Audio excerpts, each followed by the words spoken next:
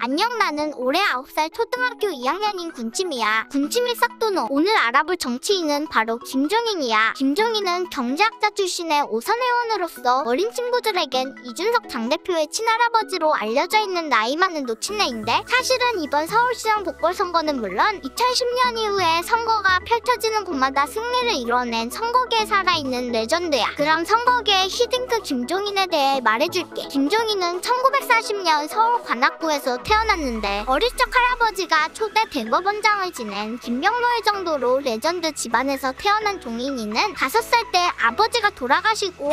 할머니에서 키워졌는데 대법관을 그만두고 정치에 입문한 할아버지의 비서관으로 일하면서 별꼴을 다본 종인이는 할아버지가 돌아가시자 독일로 유학을 가 정치학이 아닌 경제학을 배우기 시작하는데 당시 신주식인들이 미국이나 영국으로 경제학을 배우러 가던 시기에 독일로 경제학을 배우러 갔다 는 건 공부보단 시원한 호프나 독일산 소세지나 첫 먹으러 가겠다는 뜻이었는데 열심히 공부한 종인이는 민스터 대학에서 석박사를 따며 무지성 시장주의인 미국식 경제정책이 아닌 시장과 분배의 조화를 이룬 근본민족 게르만 민족식 경제정책을 배우게 되었어. 역시 백인은 게르만이 근본이지.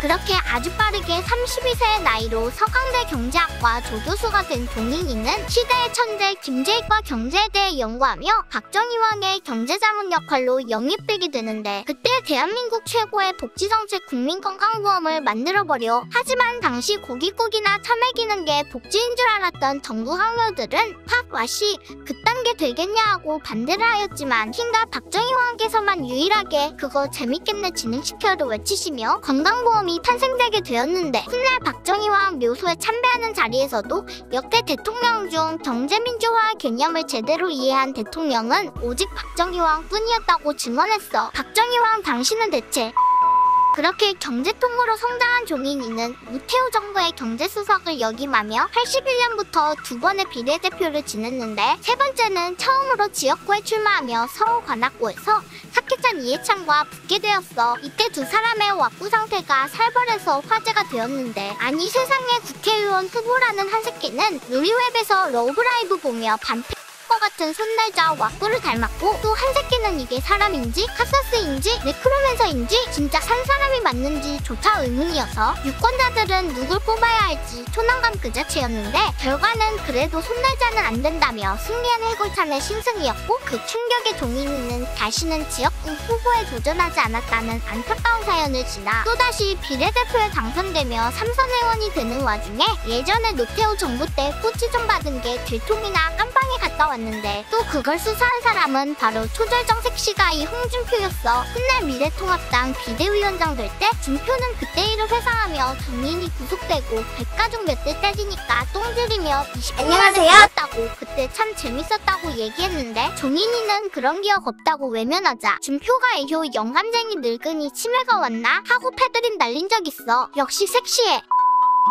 한땅 갔다 온후 존버타던 종인이는 2004년 민주당의 비례로 사선을 하며 복귀. 우연히 경제 못한다고 국들 박으며 또다시 존버탄 종인이는 2011년에 그네스토리아 대선 캠프에 합류하게 되었는데 이때부터 선거계의 평경장이라 불리며 선거판이 있는 곳마다 나타나 기술로 선거판을 뒤집는 선거타짜의 인생을 살게 돼. 첫 번째는 그네와 함께한 2012년 대통령 선거 판때기였는데 팬덤과 정치력은 검증이 된 그네였지만 태어나 돈 한 푼 벌어본 적 없고 졸라탱이 시장오뎅도 어떻게 처먹는지 모르는 그네의 경제문의 이미지를 타개하기 위해 30년 동안 묵혀둔 자신의 필살기 경제민주화 정책을 그네에게 전수해주는데 지금도 뭔 뜻인지 모르겠지만 어쨌든 졸라 있어 보이는 이 단어 한 방으로 경제문의 이미지를 벗은 그네를 대통령에 당선시키며 꿈에 그리던 경제민주화를 실행하나 했으나 말은 좋지만 이거 다 실행했다간 나라 좆되겠다 판단한 그네는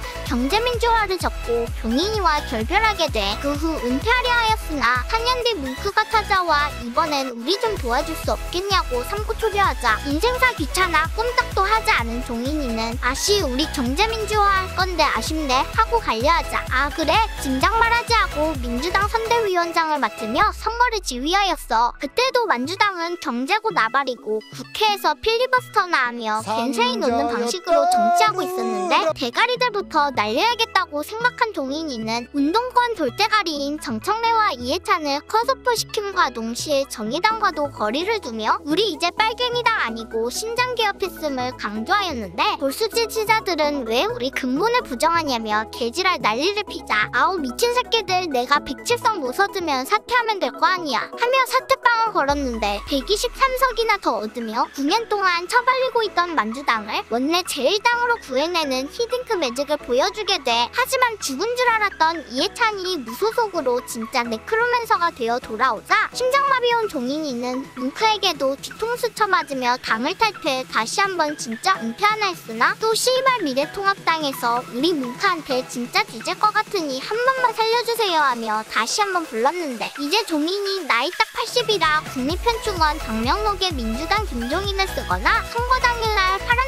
넥타이를 메고 오는 등 real 치매기를 보이며 전설의 180석을 내어주면 인생 처음 대패하고 말았는데 그래도 당을 맡은 지 두 달도 채 되지 않은 시점이라 한 번 더 비상대책 위원장을 맡으며 당을 개편하는데 이때 했던 정책들이 광주에 가서 5.18 사과하거나 그네와 명마이 구 속에 대해 대국민 사과를 하는 예전 민주당 때 했던 정책들의 우파 버전이었어. 그러니까 또 C8 어디서 민주당 발갱이 프락치형 감탱이 데리고 왔냐고 난리가 났는데 그걸 또 이번 서울 부산 보궐선거로 극복해내며 아니 C8이 영감탱이 고려장 마려운데 선거를 이기니 안 쓸 수가 없다며 화려하게 임기를 끝마치고 곧 벌어질 대선을 위해 손자인 준석이에게 당을 넘기고 지금 잠시 쉬고 있는 중이야. 이처럼 종인이는 많은 선거에서 당을 승리로 이끌었지만 본인에 대한 평가는 별명인 틀종인 그 자체인데 그 이유는 진짜 고집이 족같아서 내가 원하는 대로 안 해주면 당대표든 뭐든 그냥 대갈통 깨버리는 찰리아담급 워딩이 첫 번째인데 이노인 앞에선 천하의 질라탄도 고양이 새끼 마냥 발사탕이나 하고 가는 수밖에 없었어. 대표적으로 그네는 뭔 말하는지 알아들을 수가 없으며 똥꼬집이 나랑 똑같다고 했고 뭉크는 천하가 지 것인 줄 알고 오만망자하게 굴며 특히 인성 자체가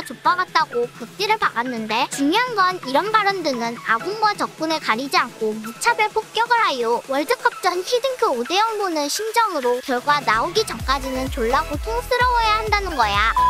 많은 사람들은 종인이를 배신자, 철새 정치인이라고 부르지만 중심이 생각엔 노년에 그냥 섰다 친다는 느낌으로 선거판에서 햇볕으로 질삭, 장땡 잡을. 때 아나스타샤 느끼는 쾌감으로 살아가는 변태 할아버지 아닐까 생각하고 또 그의 똥꼬집도 제발 죽기 전에 경제민주화 한번 보고 싶은 경제학자로서의 숭고한 철학이 아닐까 생각하며 기왕 씨발도 같은 편 됐으니 대선 트러블이나 한번 해주고 진심으로 천국 갔으면 좋겠어. 그럼 마무리하기 전에 평경장의 인생 명대사를 들으며 오늘의 영상 마칠게. 마지막 원칙. 이 바닥엔 영원한 친구도 원수도 없어. 그럼 구독과 좋아요를 꼭 눌러